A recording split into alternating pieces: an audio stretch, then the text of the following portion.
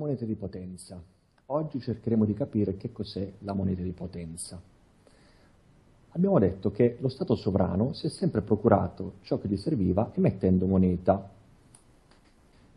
Solitamente non emetteva moneta per la totalità delle proprie esigenze, poiché per esempio aveva bisogno di beni prodotti all'estero, ma all'estero quella moneta non veniva accettata. Per sopperire a ciò, oltre all'impiego di qualcosa che fosse accettato all'estero, come per esempio l'oro, la soluzione più pratica adottata è stata la produzione di beni nazionali da poter esportare in modo da poter comprare i beni prodotti all'estero. In sostanza, per le transazioni con l'estero si effettuava uno scambio indiretto di beni, ossia uno scambio intermediato dalla moneta, quindi un baratto differito, quando non si provvedeva con un baratto vero e proprio, ossia con un baratto diretto. Tra le esigenze dello Stato possono rientrare i pagamenti dei dipendenti pubblici, dei pensionati, dei fornitori pubblici, dei servizi pubblici, dei servizi sociali e così via, ossia tutto ciò che serve ad uno Stato per funzionare e per non ridurre alla fame i suoi cittadini, ma anzi per agevolarne la crescita civile, economica, sociale, politica e così via. Poiché la moneta che serve può essere dello Stato sovrano stampata, la tassazione è accessoria. Sembra poco ortodosso, ma è così e lo abbiamo dimostrato nelle precedenti puntate ed in particolare nelle tre puntate dedicate all'imposizione fiscale. Allora, visto che si può fare e che gli unici aspetti problematici sono di ordine tecnico e quindi sono affrontabili in modo adeguato, perché non farlo? Questa domanda ne presuppone un'altra. Perché non è stato fatto sino ad ora? Ritengo che il difetto di cultura monetaria abbia avuto un ruolo significativo Infatti, se si è convinti che la moneta vale solo perché è coperta, ossia garantita da riserva aurea, ossia perché è convertibile in oro o in altri metalli preziosi o in qualsiasi, in qualsiasi altra cosa, ci si, ci si dovrà rivolgere a chi ha oro ed assecondare le sue più o meno esuse condizioni.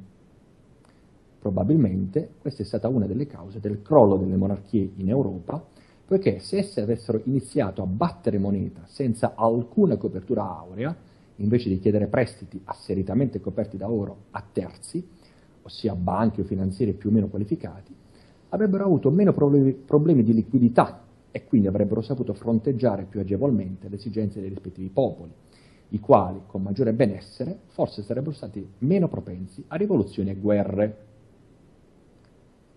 Del resto, come ha insegnato la Banca d'Italia, eh, scusatemi, la Banca d'Inghilterra, sin dal 1694, come abbiamo visto nelle puntate precedenti, non conta la copertura aurea della moneta, ma conta solo che essa venga accettata.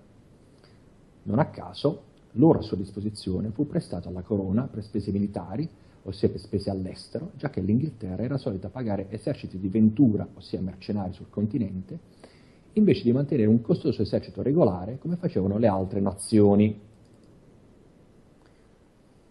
Come osserva Marcello De Cecco, Ecco, citato il massimo amato Luca Fantacci, Fine della finanza, Donzelli editore, pagina 234, capitolo 11, la Banca d'Inghilterra e la moneta di potenza, Marcello Cecco osserva testualmente il debito pubblico inglese fu considerato un'arma strategica di primaria importanza da parte di osservatori inglesi e stranieri quali David Hume e Immanuel Kant.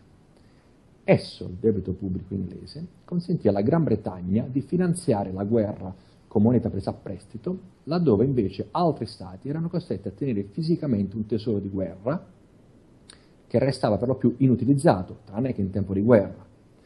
La Gran Bretagna usava i fondi presi a prestito per foraggiare gli eserciti alleati sul continente, risparmiandosi, risparmiandosi così il ehm, costo di un esercito permanente in tal modo essa poté mantenere ed accrescere una flotta imponente e sottoporre a blocco il continente e difendere l'impero, anche mediante l'applicazione della dottrina Monroe per conto degli Stati Uniti, i quali per lungo tempo ebbero una flotta di modeste dimensioni.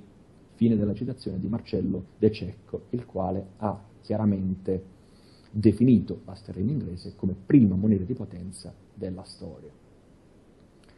Poiché i mercenari, non risiedendo sul suolo inglese e non essendo sudditi, non erano tenuti ad accettare la moneta legale inglese, in quanto per loro non valeva il corso forzoso, bisognava pagarli con qualcosa di loro gradimento, loro appunto. Ai sudditi inglesi invece si potevano rifilare titoli di debito scoperti, ossia carta moneta, ossia carta, non simile dai coriandoli, perché non avrebbero fatto troppe storie ed avrebbero iniziato a scambiarsela tra di loro.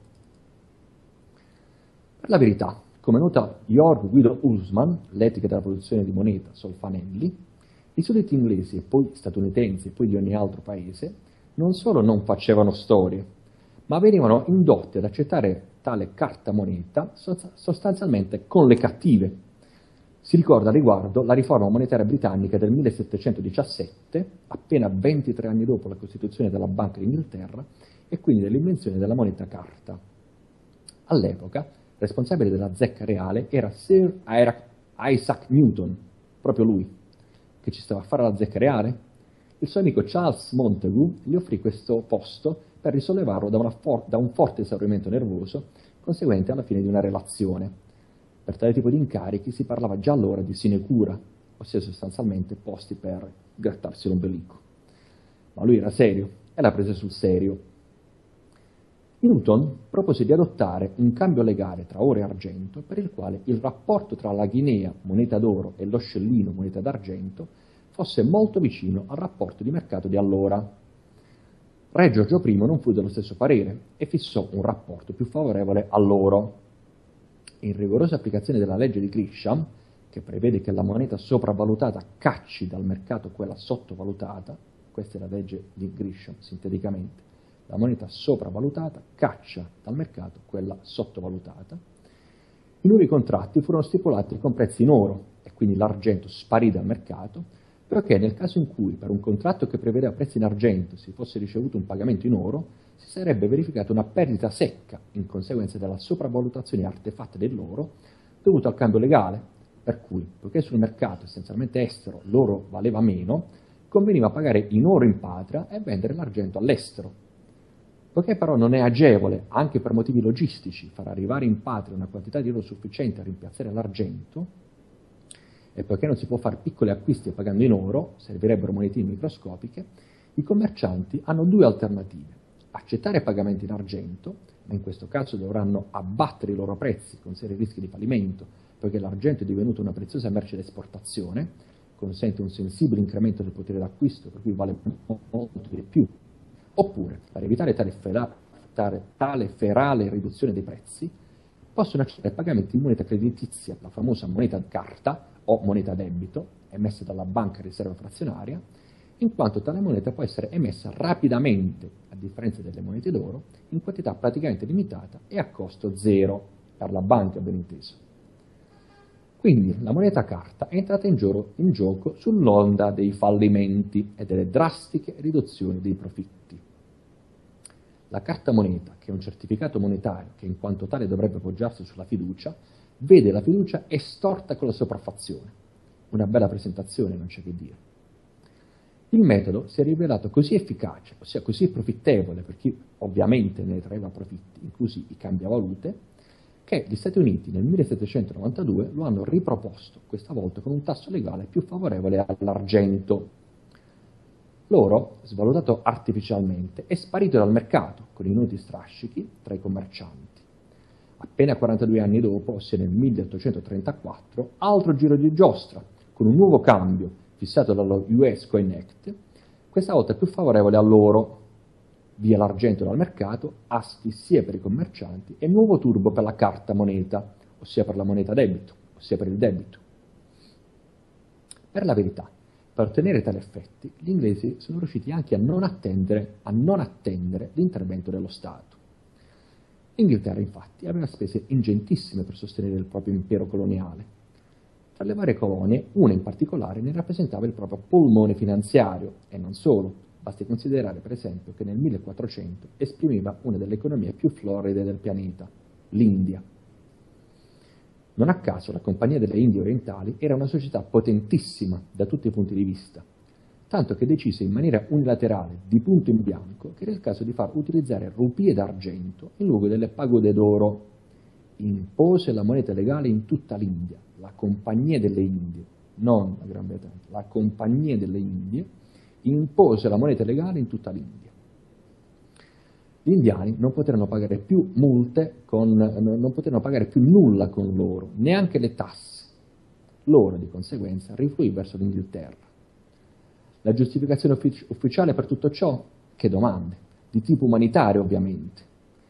In seguito alla scoperta di grandi miniere d'oro in California, il prezzo dell'oro sarebbe sceso, per cui le autorità inglesi, preoccupate per il benessere indiano, non potevano permettere che quel metallo continuasse a circolare in terra indiana.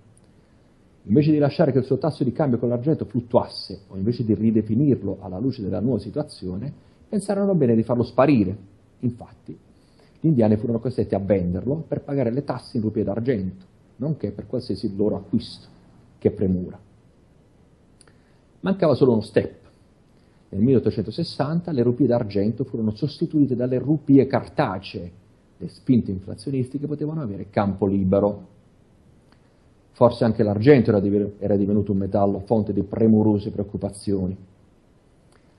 In relazione alla benemerita Compagnia delle Indie Orientali, il finanziere scozzese John Law, nel 1719, studiò una complessa architettura finanziaria che coinvolgeva sia le azioni della medesima che i titoli del debito pubblico, incroci che sarebbero diventati molto comuni in Occidente.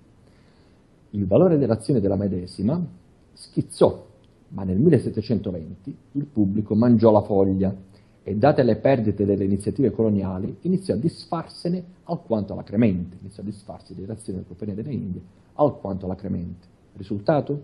Il fallimento della compagnia e anche della Banque Royale che gestiva il debito pubblico francese, tratto da J. Gleason, l'uomo che inventò il denaro, Rizzoli, citato in Maurizio Pittau, Economie senza denaro, i sistemi di scambio non monetario nell'economia di mercato, capitolo 4, denaro nell'economia tradizionale del Sud, paragrafo Il caso Indian Office. Una spettacolare applicazione della menzionata legge di Grisham si è registrata in Italia, in particolare nel Regno di Sardegna, a ridosso dell'unità d'Italia.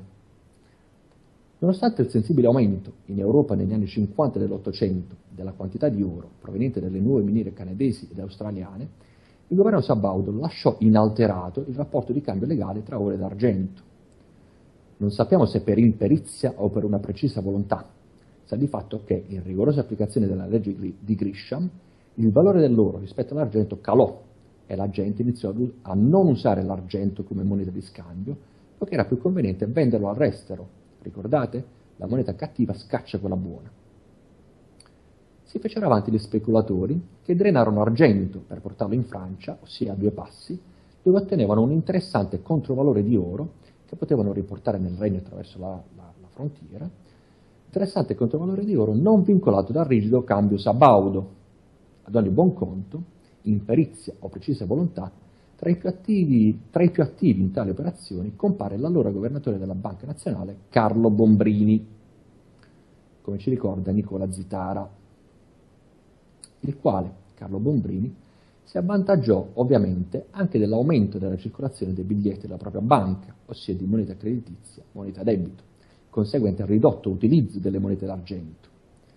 Si è detto per inciso, la legge sul corso, sul corso legale, le leggi sul corso legale eliminano ogni ostacolo tecnico allo svilimento, allo svilimento infinito delle monete, per cui ogni moneta, per quanto svilita sia, ossia per quanto poco metallo prezioso contenga, se metallica, o rappresenti se cartacea, deve essere per legge accettata in pagamento per il suo intero, intero valore nominale. Osserva Ulsman, l'opera citata, pagina 142. Si raffronti ora tale considerazione con l'attuale percentuale relativa alla riserva cosiddetta frazionaria, che viene presentata come obbligatoria, stabilita per le banche. Essa è arrivata, scendendo costantemente nel corso del tempo, in forza dei cosiddetti accordi tecnicamente di cartello di Basilea 2, quindi gli accordi di Basilea 2 sono tecnicamente accordi di cartello, è arrivata al 2%, come ci ricorda l'economista Nando Ioppolo, agevolmente reperibile in YouTube, specie le sue interviste. Cosa significa 2%? Che, la banca, che se la banca ha 100 può prestare una quantità di denaro per la quale 100 rappresenta il 2%, ossia può prestare 4.900. Sì, 4.900 Basta l'equazione di primo grado, 2 sta a 100 come 100 sta a x. Per ottenere 5000, ossia, 5, ossia 50 volte tanto, qui sottrarre appunto la riserva obbligatoria di 100 e ottenere 4.900.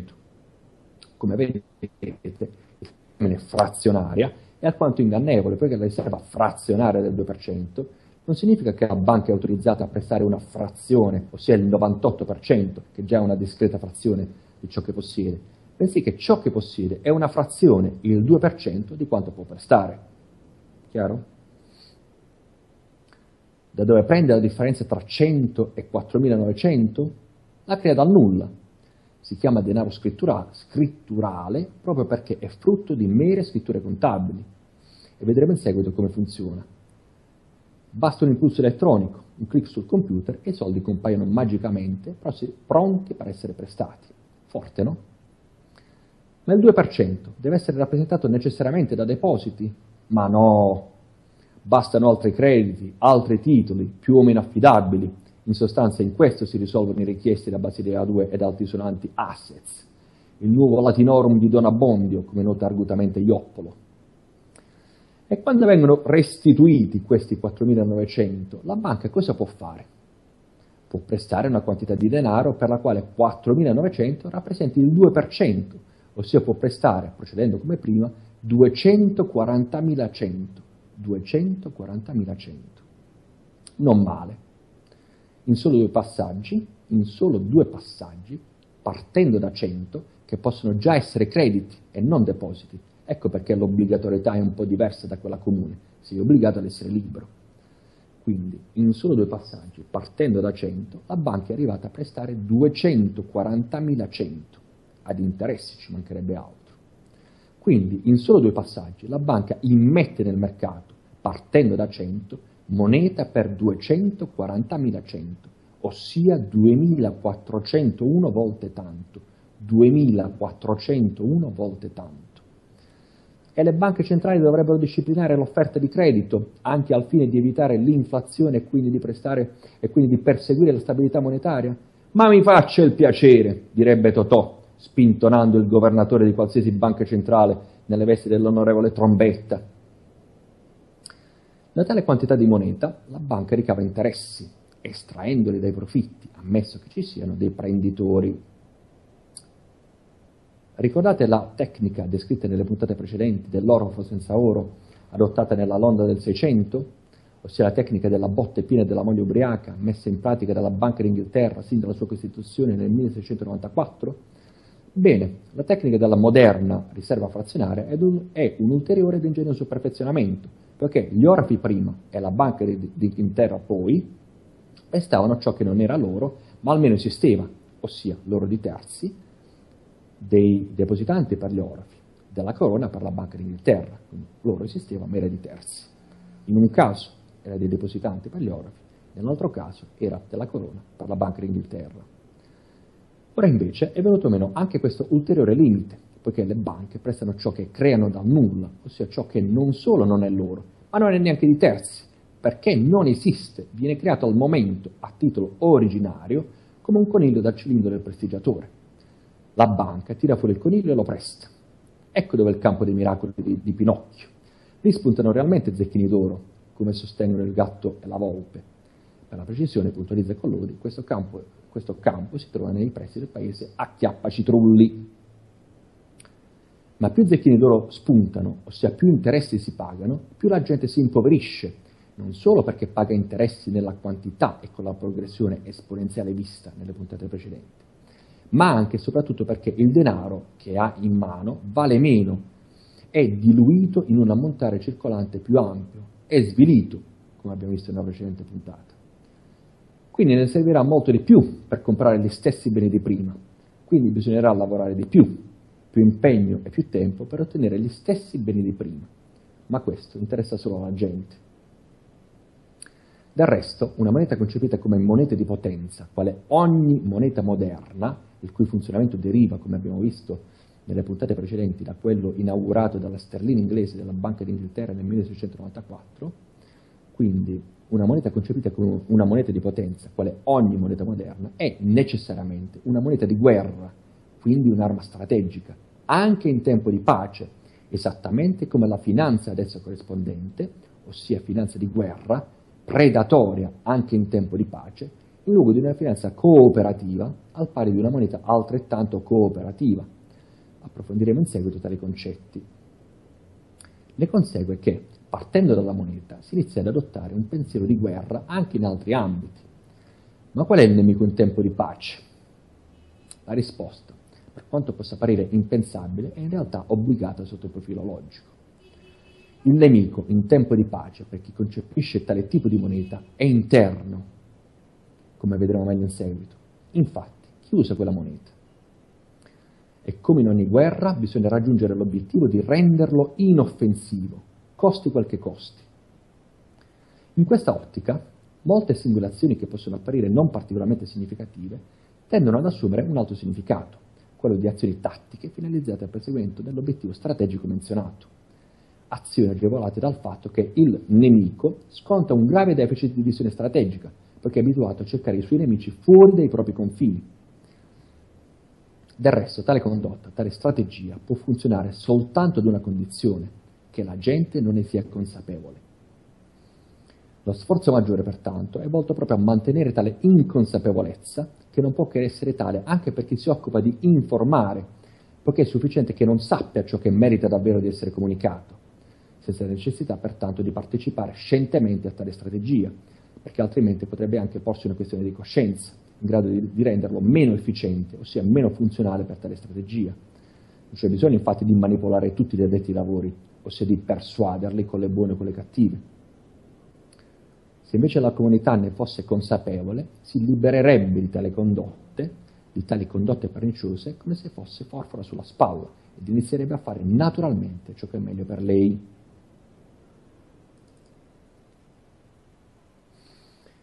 Ma allora, il funzionamento del mercato interno della moneta diverge da quello internazionale? No, perché a ben vedere i mercenari accettavano oro non tanto per il suo valore intrinseco che comunque era presente, a differenza della carta dei sudditi inglesi, quanto perché sapevano che non avrebbero avuto problemi ad utilizzare quell'oro come mezzo di scambio per le loro future esigenze, in quanto sarebbe stato ragionevolmente accettato da altri. Salvo ben inteso il caso di una inattesa scoperta di una sterminata miniera d'oro che avrebbe potuto ragionevolmente far, farne crollare il valore. In realtà questo aspetto non è stato colto dalla maggior parte degli autori che hanno studiato il pensiero di Aristotele sulla moneta. Essi infatti hanno evidenziato che Aristotele, nella politica, nella sua opera politica, definisce la moneta come merce di scambio, quindi individua il concetto di moneta merce, mentre nell'etica di Nicomachia definisce la moneta come misura del valore, ossia moneta segno, ossia di natura meramente convenzionale. Tali autori non hanno colto un aspetto fondamentale, in assenza del quale l'esposizione di Aristotele sembrerebbe disorganica, in quanto la moneta può essere merce oppure segno.